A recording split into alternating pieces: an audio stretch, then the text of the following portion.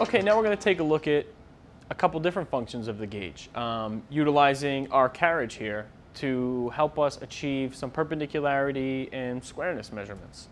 So, with our carriage, you'll notice that we do have a floating carriage. The floating carriage allows us to eliminate any user feel. Um, it takes away the operator error. So if we engage this carriage a certain amount, it's always going to trigger a reading. Um, and that basically eliminates the ability of an operator getting a different reading. Somebody has a little bit more force than another person. We take that out of the equation by having this floating carriage triggering the probe to read. But what we can do is we can lock that. So if we take this little knob in the back behind our quick travel hand wheel, we're now eliminating that float. That's going to be very critical when we want to take a perpendicularity or squareness measurement.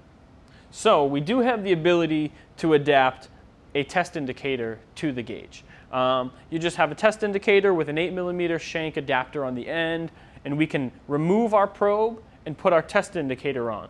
And now we're going to be attracting all of our attention to the reading on the indicator as opposed to the readings on the display.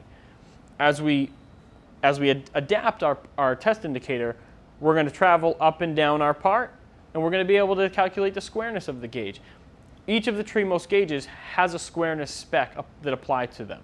Um, as they grow taller, they, the, the squareness spec grows as well.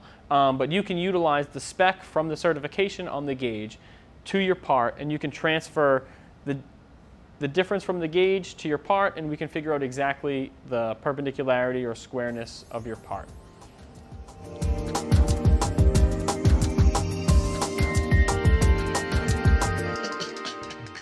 You.